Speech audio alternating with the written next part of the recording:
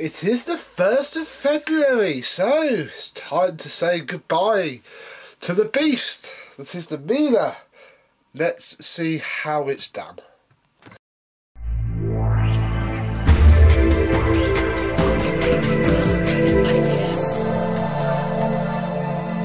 Yes, hello my vacuum cleaner chums, how are you today? 1st of February, and I've actually got some hot off the press sneaky peek. I've just won myself a Kirby Legend 2, so we can look forward to that coming up soon. It's actually being sold by a lovely sounding guy in Peterborough who knows me, so hello! So see you on Saturday.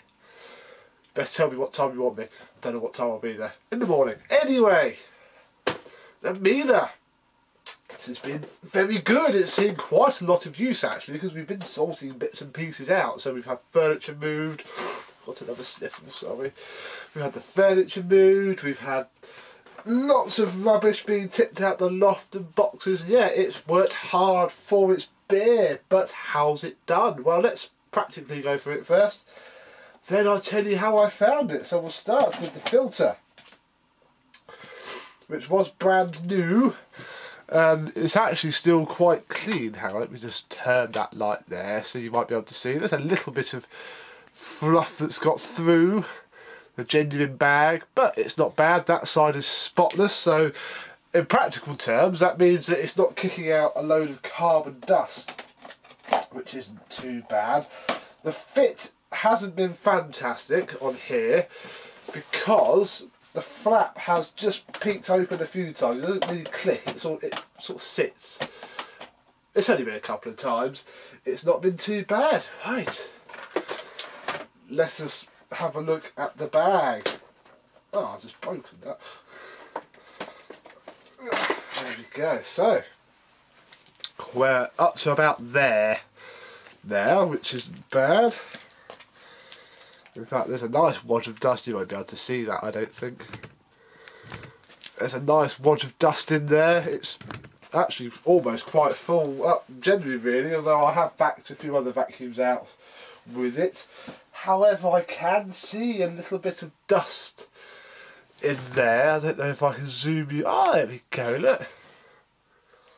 There's a little bit of something there, whether that's actually coming through the bag. I don't think it is because the bag itself is pretty spotless. In fact, I'm wondering if it's actually blowing through. The suction channel runs through there down the back. I'm wondering if I perhaps haven't fully sealed it back up properly. And that's actually blowing into a little gap. But it's not actually too bad. It's negligible really. The pre-motor filter is still spotless bring that back out so you can actually see what you're doing. Oh, there. And yes, all in all, very good indeed. Right, let's pop the bag back in. Try not to quaff dust too much everywhere. There we go, right. Let's have a look underneath at the brush roll, which is actually very clean. There's a few little threads, oh, trying to hold that up. There's a few little threads here, which will just be the edge of the carpet. Our carpet's fraying a little bit up still. I know, what's that? And whatever that is.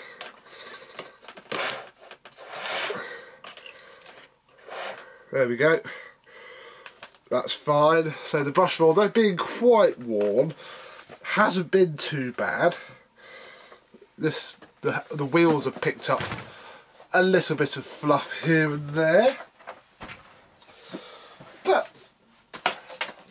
fine really, negligible.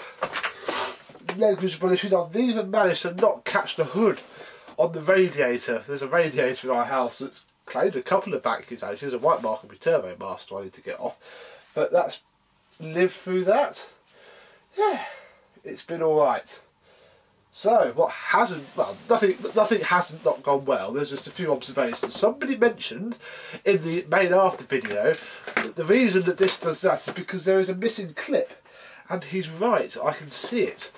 Just about see the remains of the, there's like this plastic stress mark there. There you go. If you know what you're looking for, you can see it. So it is missing its clip. Not that fast. Not that fast at all. The wand is still a little bit tight to pull out, but it's been perfectly usable.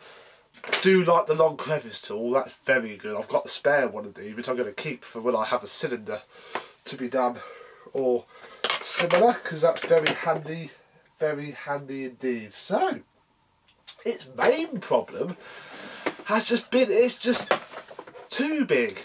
Turbo Master had the same issue. We're only in a two bedroom terrace. It's massive and we're not messy people. We don't have pets. The children aren't terribly messy. It's just the odd bits all over the floor or when I you know, be walking leaves and bits and bobs. So it's not had the sort of use that a machine like this needs. This sort of machine is for a busy household that really does need a vacuuming twice a day. We can go two or three days without needing to vacuum. So it's just been overkill really. But it's massive. I mean, yes, it it's quite nimble with the fact that you can turn it and whatnot, but you do still know you're pushing it. I'm sure that squeaks fine. So yeah, glad I've used one. If I had a big house with vast expanses of deeper pile carpet, ideal. For ours, with there's, there's no pile on the upstairs carpet, it's cheap rental spec, and that stuff we got downstairs is very low pile anyway. Mean, if we didn't have that, we'd have laminate, so it'd be even more unsuitable. But, tick to box. It's been good. Now it is time to go away and we can move on to what is happening in February. Bit of a left field choice this, but I'm going to go with it. It's a machine that I've never actually fully properly used. I've had many of them, tens, probably hundreds just about of. I know them inside out, back to front, all of their flaws, but I've never actually used one for more than 30 seconds to check it works after I fixed it. What am I talking about? Well, we saw it quite recently actually.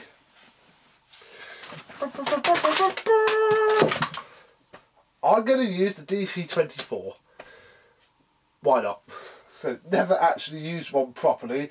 It's still very much in its pre-refurb state, so I don't have to worry about getting it dirty. I mean, as you can see, it's still got the porridge oats in it from the little test we did, which we may as well chuck down the floor again and do once more. But it will allow me to see what they're actually like. So once I've refurbished one and I'm charging 100 quid, I don't use it for more than just checking it works. I don't get dirty. oh, excuse me. So it will be nice to use one properly. So I have, I found a tool, it's a pattern part. It was sat on the DC16, but I've got its original one, so there we go. I can't say much more about it really because this is as it. This has just been sat here since I did the video last time. So it's probably going to be more ideally suited for my house because they're designed for small houses really. And because we live in a small house, it should do an okay job. Plus I can give it a proper shakedown test before I invest time and money into, actually probably won't be any money, just time, into fixing it up to sell as big as it was thrown away, I'm going to be a little bit careful that there isn't something actually wrong with it that I haven't found. So this that'd be a good excuse as well. So let's vacuum this back up, I suppose.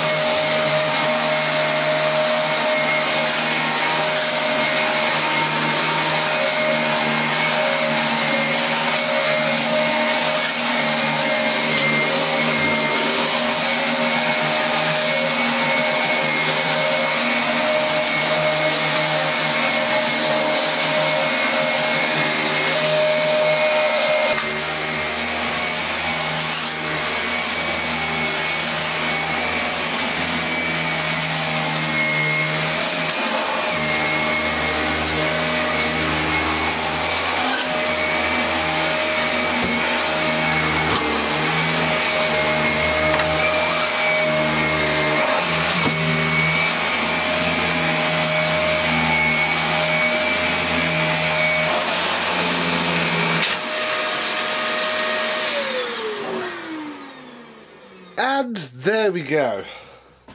The Dyson DC24i.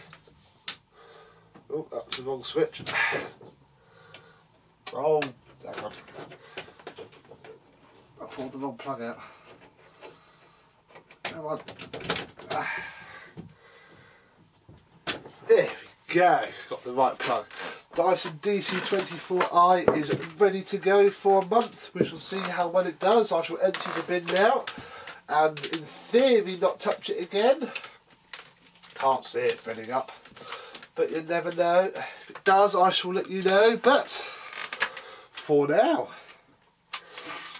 Thank you very much for watching and I shall see you soon in March for this series, obviously. Thank you very much for watching and goodbye.